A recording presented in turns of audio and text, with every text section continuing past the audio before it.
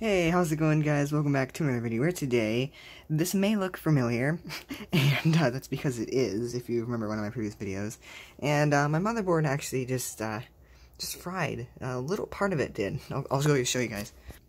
There it is, right there. That little piece. so yeah, I'm not gonna be able to stream again. Isn't that nice? Anyways, uh, if I do find a solution or something, I will immediately start streaming again, but for right now, that's not going to be the case. So I'm sorry, guys. Um, but yeah, I guess I'll see you guys later.